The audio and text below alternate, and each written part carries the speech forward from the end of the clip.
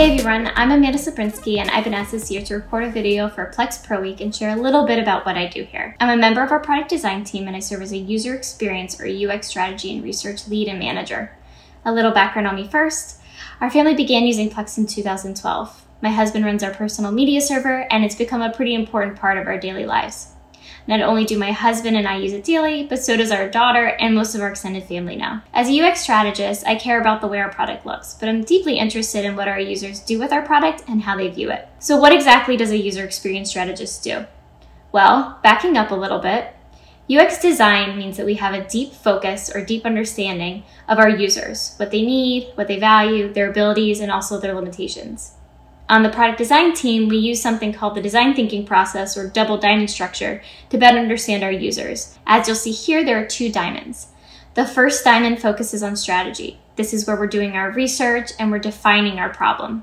The second diamond is all about execution. This is where we're exploring different designs and then executing on them in development. As a strategist, I'm really focused on this first diamond.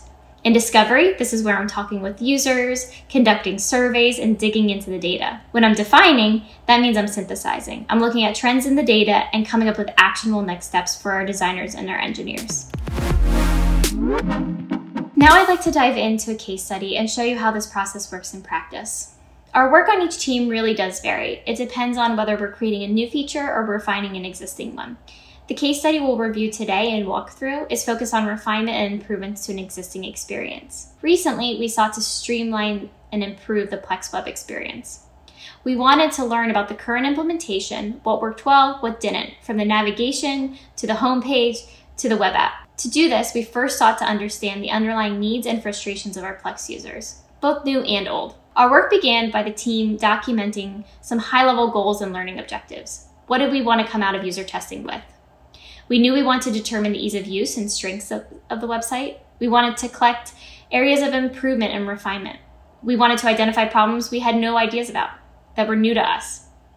And once we had these high level goals documented, we planned our test.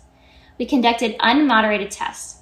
This meant the sessions were completed alone by the participant. We allowed each participant to explore the website, from the home page to some supporting pages through to the web app, really at their leisure. Each participant was then asked some clear questions. What did they think of the website? What did they think of Plex's services? What did they think about the path it took to find something to watch? We wanted to know how difficult this was and how cumbersome it could be for them. Once all this data was collected, we used a method of organization called Rosebud Thorn. Here's an example of how we organize this data. Rosebud Thorn is used when identifying or flagging feedback as positive, negative, or having potential. Our roses are our red cards. These are our highlights, our successes, our small wins, or something positive that happened. Our thorns are our blue cards. This is a challenge in the experience or a challenge, a user experience, something that could use more support. Our buds are our green cards. These are our new ideas that have blossomed.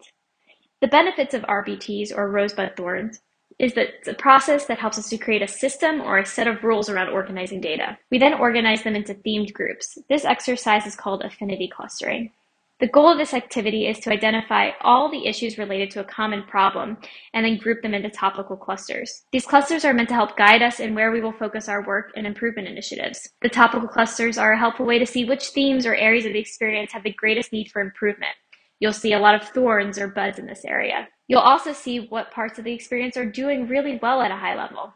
These are the areas where you see a lot of red post-its, the roses. Now let's dive into some of the major themes and findings from this study. Our first was our navigation.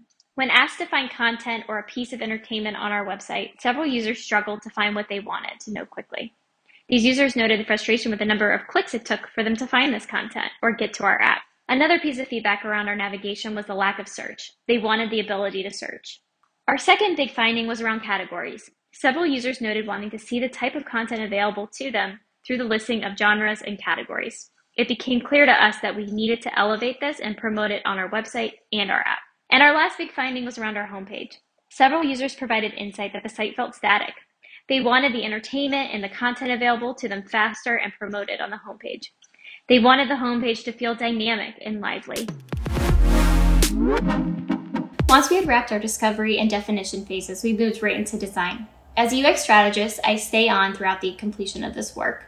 I continue to collaborate with our designers, making sure I'm always articulating the needs and expectations of our users. This means always referring back to that thoughtful feedback we captured, and I do this a lot through quotes. Quotes are great.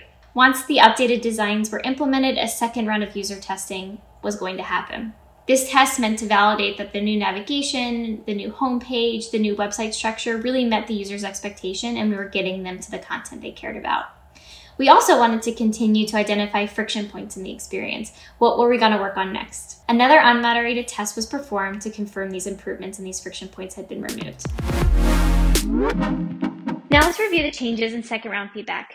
In comparison to round one, participants experienced less friction when asked to find a movie or show on the website.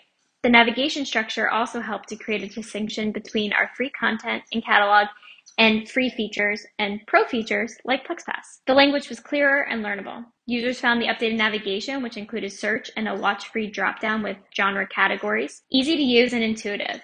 Users were quickly able to find the sections they were seeking. Providing multiple paths and flows to finding a movie or a piece of content meant that users were not limited to one way of content discovery. This was key in reducing the user's frustration from the first round. And featuring content prominently on our homepage meant that users had a clear expectation of what we had available, and it made the site feel lively and more engaging. So that's a quick behind the scenes look at a typical project here at Plex and how we work. What's great is that our job is never done and design is iterative. We're continually evaluating and re-evaluating our work, looking to make improvements and enhancements. This means ideas should be developed, tested, and refined several times. As always, we love to hear your feedback, so keep it coming. I'll definitely be reading it.